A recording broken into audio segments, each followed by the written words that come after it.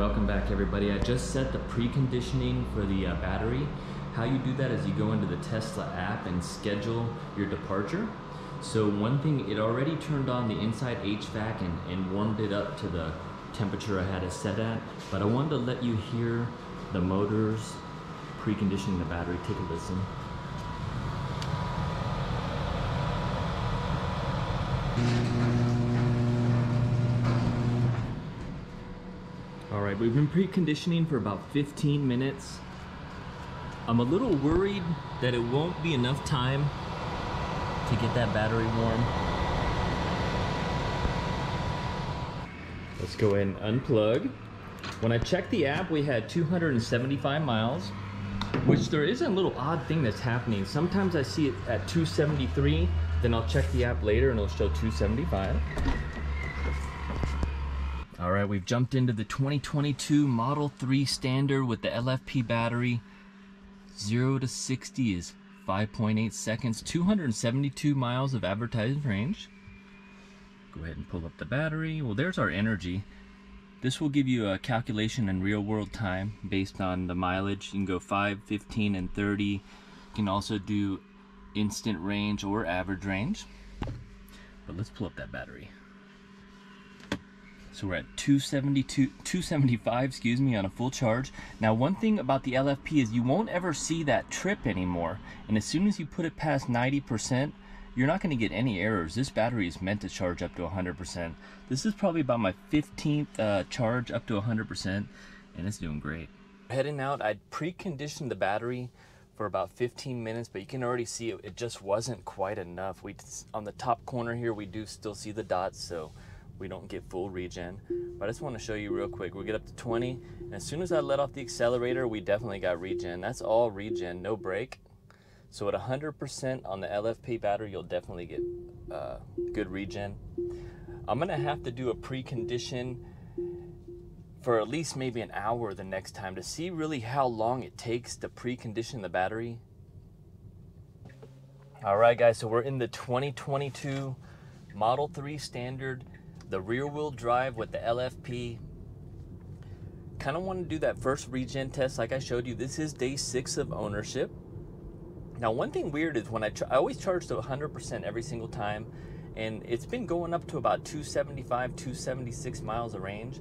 But the lowest I've seen it is 272, and then it seems to recalibrate while it's sitting there plugged in because it will bump back up to 275, which is uh, pretty interesting. So far, the efficiency on this car is just amazing. If you look at my trip B here, 125 miles, 216 watt hours per mile. Now, this drive was actually two drives. I drove from here to Lake Las Vegas and back, which was about 90 miles, and 95% of that, or about 90%, was all freeway driving, and I was driving pretty aggressive as well. Uh, I was doing about 80 miles an hour on the freeway, couple, uh, you know, I wasn't trying to go slow by any means, just driving my normal drive, you know, and on the Vegas freeways it's pretty quick. Let's go ahead and put it into autopilot. Now, I wanted to give you a quick update on the wireless charging pad and the USB-Cs, and I'll pop it on the screen what Tesla said, but they pretty much said they are aware of the issue and that in the next month or two, once they get the parts in uh, from all the shortages, it's just really crazy all the parts shortages we're seeing right now. When I was in Long Beach just the other day, seeing all those tankers just floating, waiting to get into the port, I feel like it's a national emergency. Why aren't we getting more help out there to release that pressure? I feel that's causing a lot of inflation, and it's almost to me feels a little bit artificial because I mean we need more help out there, right? Now again, back on the efficiency, it is doing great. Got Trip A. Trip A is from the whole since they since I've taken delivery, so it's highway, uh, city driving, mostly highway because I'm always on the highway, but 224. But if you look at that last one on Trip B, 216, this has to be the most efficient Model 3 that I've ever driven. Even my 2018 long range rear wheel drive, I was getting in the you know mid 30s, low 40s with that one, and I thought that was good. This one is just amazing. Now this is the LFP battery. Don't let anyone confuse you. After November 1st, the only cars they'll be um, building. Now as far as shipping, there might be some logistics there where if maybe you got early November, you might have got the 2021 Standard Range Plus. But after November, they stopped producing the um, cars with the NCA battery with the, the 263 mile range. Now, in that time, in the last three months, they had the 263 2021 Standard Range Plus. Then they introduced the LFP, which was the 253 mile range. And the 0 to 60 was still 5.3. But after November 1st, it is the 2022 Model 3. It has the 272 mile range with the LFP battery, but they did increase the 0 to 60 to 5.8. They were trying to go for this balance between uh, performance and efficiency, and they nailed it perfect. This car is so efficient, it just blows my mind. Now, I do want to do a quick update on the headlights and the fog lights. I uh, went out for my first night drive last night, and the headlights definitely need to be adjusted. I got flashed about four times. My headlights must have been pointing straight up, right into the eyes of all the drivers.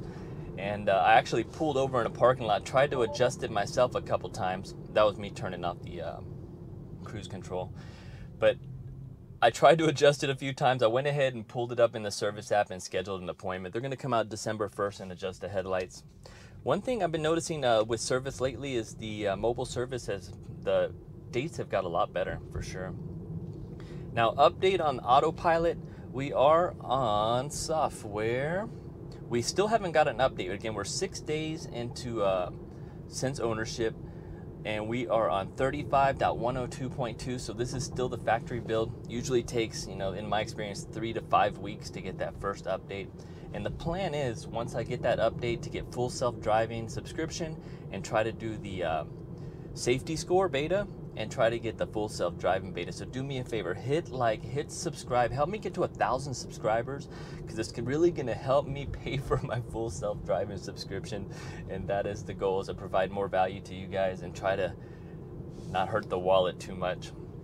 Now coming soon in the future, I will be doing a supercharger test. I'm gonna try to get it down as low as I can. And I'm not going to be doing a lot of supercharger tests like I did back in my 2018 Model 3. I don't want to hurt the battery. I don't know if it will, but I'm going to try to get it down and do a full, um, you know, maybe 1% to 2% to 100%. And this time I will finish it uh, to 100% for sure. I am going to be taking another road trip pretty, pretty soon as well.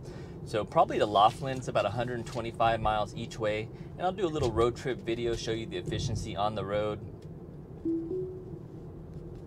let's go ahead and look at the fit. So right now, since the last charge, 2.8 miles and we're at 254 watt hours per mile in the efficiency. Another test I do want to do is the 0 to 60 road test. Um, I don't have any type of hardware to capture the time on the 0 to 60, but I will kind of, you know, do a few videos on that. And we can do a quick one right here and see, just kind of see what happens here. Can't wait to get that full self-driving beta. All right, so that's foot on the floor. So yeah, there we go. But I tell you what, the real fun about these electric cars is when you're just cruising, you know, that, that mid-range torque, that seat of the pants uh, push. Even on the freeway, I find myself in this model speeding, like going from uh, 65 to 85, 90. it, it is so quick definitely um, still very fast. Now, I do want to read a few comments from um, the viewers. And again, thank you so much for all the comments. There's such great ideas down there. And I'm so excited and I love Tesla. So it, it, I love talking about the Tesla, right? All right, let's get back in autopilot. So it says, um, AA says, can you check if you have the 980 motor or the 990 mo motor or something else? Now, I did see someone commenting about pulling off the rear hubcap there and looking in at the 9 o'clock position on the rear motor, I saw tons of tags on all the parts, but I cannot see the motor or the battery. So let me know if you know how to see which motor I got, it will definitely be helpful. Now Matthew says, is this not the 2021 version? And that, and you are 100% correct. This is the 2022. It was on my purchase checklist. It's on my insurance. It, it I, it's not on the Monroney sticker. I believe it shows the build date, but not the model year date. On the Monroney sticker, it does say just Model 3. It doesn't say Standard or Standard Range Plus or anything like that. Let's go ahead and turn right here. But this is definitely the uh, 2022 version. Absolutely. Don't let anyone fool you because you'll know when you get the 22 version because you're gonna have to accept right before delivery. You're gonna ha- it's gonna have a pop-up saying, "Hey, you're getting the new car." It's gonna have the decrease zero to 60. It gives you enough information that you know you are getting the new model. That is for sure.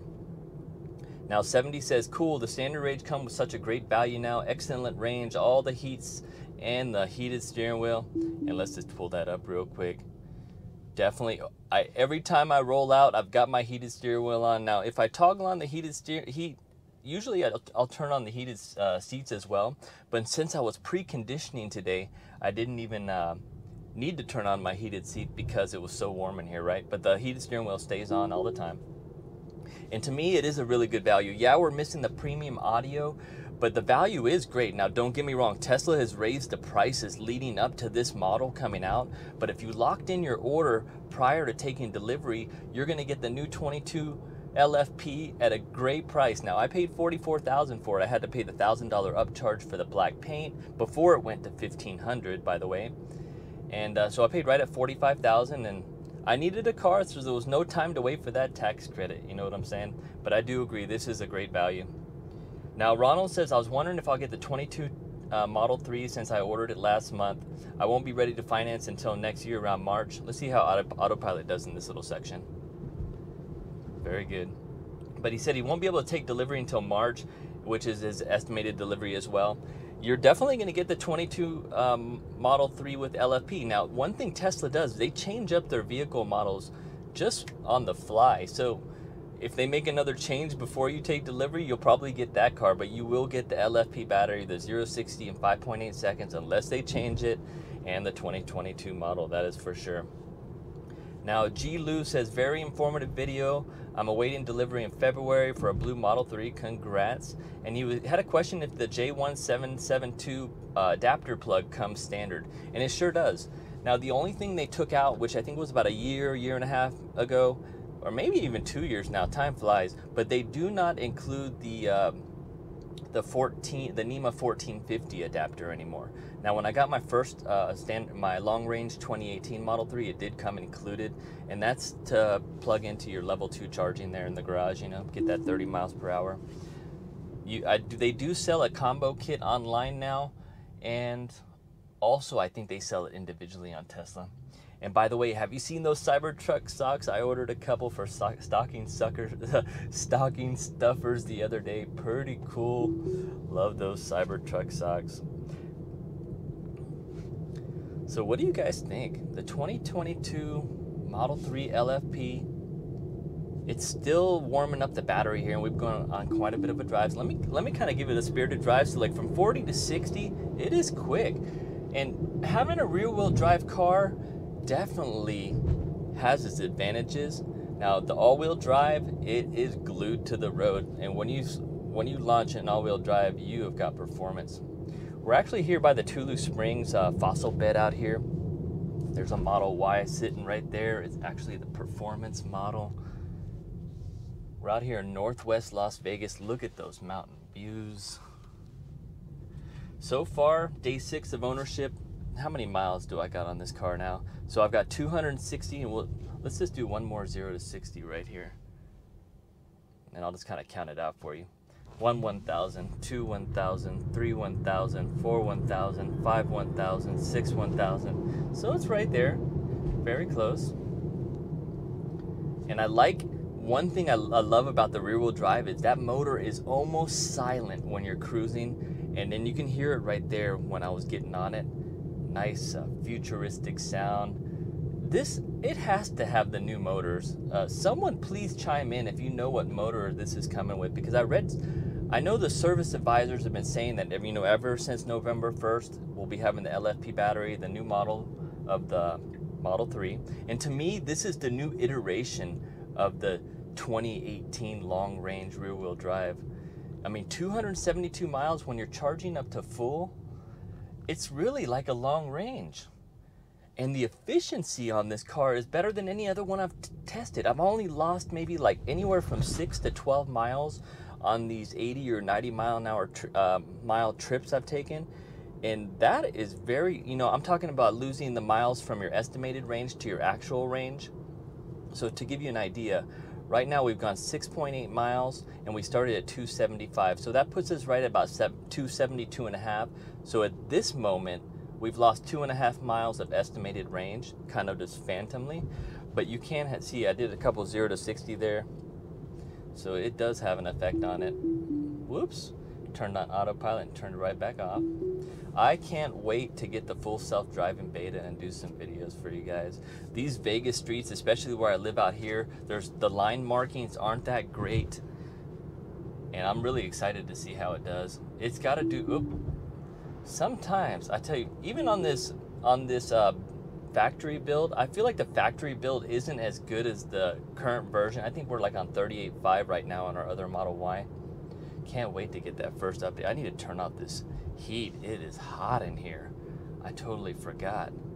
It's 70 degrees outside and the heat in here was almost 80. Woo! So we are on the uh, just autopilot. We have the full self-driving computer, obviously, but we don't have the uh, full self-driving subscription yet. What I've noticed about this autopilot is it is ping-ponging a little more than I've uh, than I'm used to on the other autopilot builds. But again, I can't really compare this until we get on a fresh build that everyone's on versus a factory build and really, you know, put it through its paces. Now, one thing is the autopilot will not stop at stop signs unless you have the full self-driving subscription. So that is a plus and a minus because if you're going through like a green light, you don't have to uh, you don't have to give confirmation that you're going through a green light, right? When you're just on autopilot. If you're on the full self-driving, you would have to actually give confirmation to go through the light. But at the same time, it's not going to stop at any lights or any stop signs. So if you have it in autopilot and you're not paying attention, you'll blow right through the stop sign. It only happened to me once, and that's really all it takes. And I can't talk enough about this efficiency. The best efficiency I have seen. Anyone else with the 2022 Model 3 uh, standard, chime in. Let me know what your experiences as well. I just love to hear all the feedback. All right, we're back in autopilot. Let me double check to see what we have. So tire pressure, I've been seeing about 41 cold and it goes up to about 44, 45 PSI once they warm up, which to me is pretty good. On all my other Model 3s though, I've always had the tire pressure up to about 49, 50, just really trying to get that the highest efficiency possible. Since I've been driving in this vehicle with this new motor battery setup or whatever it is, oh my goodness, the efficiency is so good. I haven't even thought about raising up my tire pressure. I'm like, hey, well, I'll keep it a little bit softer. Now, one thing on the autopilot without full self-driving is if I put on the blinker, it's not going to change lanes at all. It's not going to stop at this light either. But here's a perfect example. On autopilot, you don't have to give it any confirmation to go right through the green light. So we're just cruising right through. If we had the full self-driving, it would make us hit the stalk to give some type of confirmation.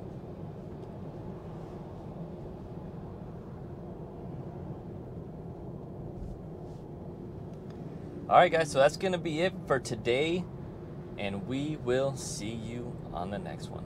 Thanks for watching.